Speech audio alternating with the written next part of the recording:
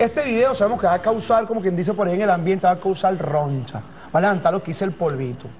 Vamos con este video, píllenselo, analícenlo y verán lo que está sucediendo más allá de la frontera de nuestro país con nuestros alimentos, con lo que se produce acá, que no se consiguen algunos anaqueles, bajan ustedes donde se consigue. Vamos con el primer video y ya regresamos con más de, de Zurda Conducta 2.0 y firme con los Tigres de Detroit.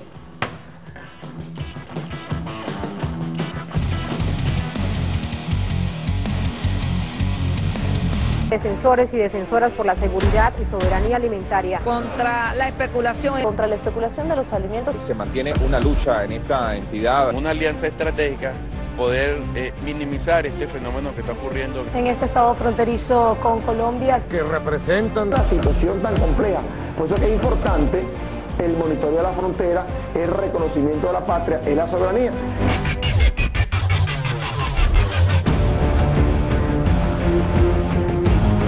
Sabemos que, es una pelea que no va a ser nada fácil. Eh, son muchas las mafias que con toda seguridad eh, se va a tener que enfrentar, pero creo que es bien importante la decisión asumida por el gobernador del estado. También se está atacando otro punto importante que es los llamados bachaqueros, un grupo de, personas que vienen desde la frontera con Colombia y eh, se apostan en cada centro de comercio de comida para hacer diferentes mercados y sobre todo eh, todos los días para extraer los productos allí. Tenemos el infinito placer de anunciar la retención de aproximadamente 50, 60 toneladas de productos de primera necesidad. Se ha retenido artículos de primera necesidad como arroz, leche, aceite, harina pan, detergente. Hay que estar, miren, mosca, sobre todo en la zona fronteriza con el contrabando. Los anaqueles de los supermercados sufren la merma de productos de primera necesidad. En las pulgas y la curva, revendedores ofrecen los productos con hasta un 150 de sobreprecio. En este momento están registrando aumentos de un 150% sobre el valor de esos productos.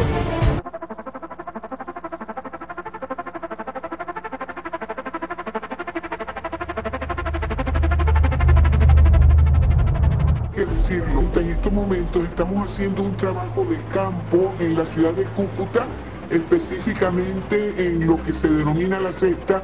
Como ustedes pueden observar, la mayoría de las personas que están allí vendiendo, de los comerciantes, trabajan con los productos regulados y subsidiados de la, alimentación básica del pueblo venezolano. Eh, diferentes productos, ahí tenemos el aceite casa, Ahí tenemos la estancia, Mavesa, la leche. En estos momentos, gracias a Mercal y a Pedeval, tenemos algunos hogares tienen leche en el municipio de Pedro María Ureña, pero como ustedes pueden darse cuenta, aquí en la zona de Cúcuta, en la cesta, diferentes tipos de productos venezolanos se venden ante la mirada complaciente de autoridades porque hay que decirlo. ¿Y esas marcas que Un kilo de harina pan Beneco colombiano vale 2.800 pesos. Un kilo de harina pan, un kilo de harina pan colombiana vale 2.800, mientras un kilo de harina pan Beneca, por ejemplo, esta clase vale 1.500 pesos. Esa diferencia, son 1.300 pesos la diferencia. ¿Pero tú la compras en bolívares o en pesos? No, aquí la compramos en pesos, mi amor. Aquí. Entonces mucha diferencia, entonces de eso se trata, hay que buscar la economía. Por lo menos esa, esa leche esa leche la compramos aquí a 8 mil pesos, la vendemos a 9 mil pesos, 9 mil pesos, 10 mil pesos. 8 mil pesos. Y, o sea que allá cuánto puede estar costando? Allá vale, allá vale 6 mil bolívares. Eh, eh, 12 mil bolívares vale allá. ¿Y el aceite? Ese vale 20 mil bolívares allá. 20 bolívares. ¿Y tú lo vendes aquí a cómo? Lo vendo aquí a 4.300, 4.200. Nosotros vamos pegados de 100 pesos más. Es que como no hay trabajo, pues no le toca más. Es que trabajo no hay aquí en Cuba, no hay empresa para uno trabajar. Vamos con todo contra contrabando. Ustedes van a ver a estos mafiosos presos.